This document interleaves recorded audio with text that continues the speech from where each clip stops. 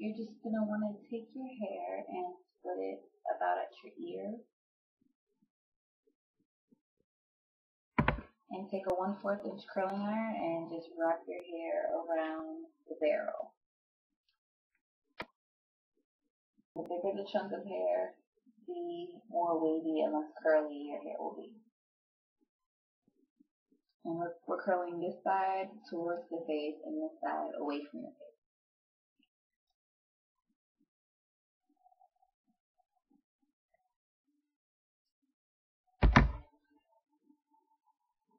The next part is going to be at your temples. Continue to curl this side towards your face.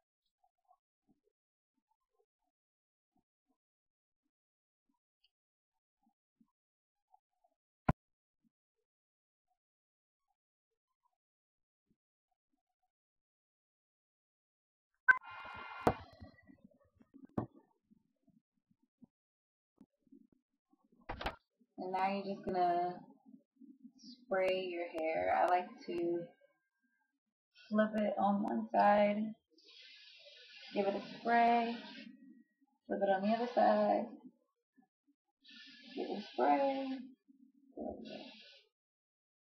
flip it upside down, give it another spray, and then flip it back and do one more spray.